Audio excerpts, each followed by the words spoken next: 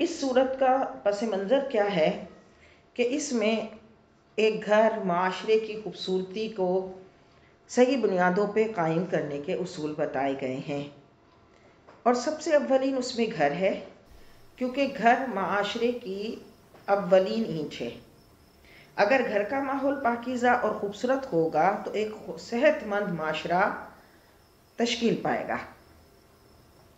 इस्लाम का मकसद ही इंसान के सर पर ताज करामत रखना और इसके दामन को सच्ची मसरतों से भरना है। और ये तभी हो सकता है जबकि घर का माहौल क्या हो? खूबसूरत हो। और जब घर का माहौल खूबसूरत होगा तो माशरा खुद अच्छा होगा। अब बात यह कि घर का माहौल कैसे खूबसूरत होगा तो आज इसका नज़रिया बिल्कुल बदल गया।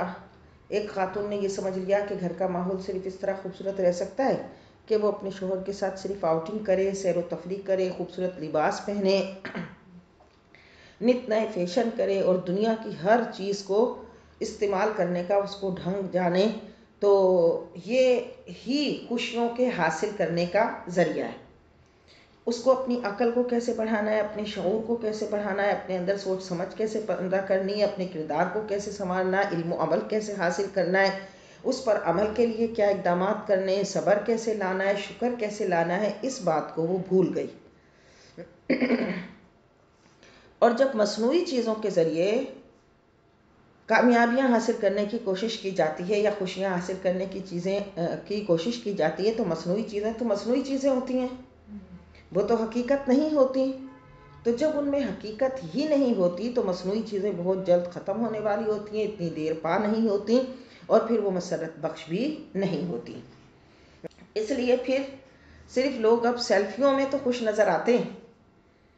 और सेल्फियों में तो वो नत नए ड्रेसेस पहन कर सेल्फियाँ लेकर और उसको अपने फेसबुक पे यानी लगा कर और दूसरों को दिखा कर वो ये समझते हैं, वो बहुत खुश हैं। लेकिन हकीकत में उनके अंदर खुशी कहीं दाखिल नहीं होती। फिर इस सूरत का अक्सर हिस्सा खानगी ज़िंदगी के मुतालिक है कि मोमिन मर्द और औरतों, औरत का किरदार क्या होना चाहिए? वो अपनी निगाहों को नीची रखें, अपने अंदर शर्म हया पैदा करें, अपने अंदर से फासिद ख्याल को ख़त्म करें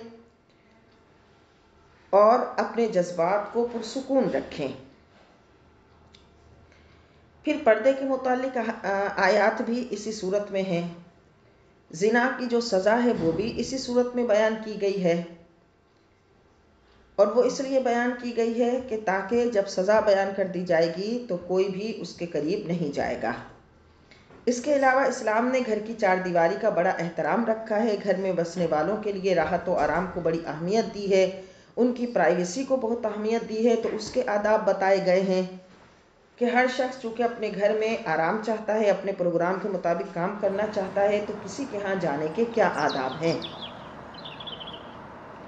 और फिर ये भी बताया कि अगर साहिब खाना तुम्हें इजाज़त ना दे तो कभी भी गुस्से में मत आओ, बल्कि बड़ी कुशादा दिली से उसके उज़र को कबूल करो और खुशी खुशी वापस चले जाओ।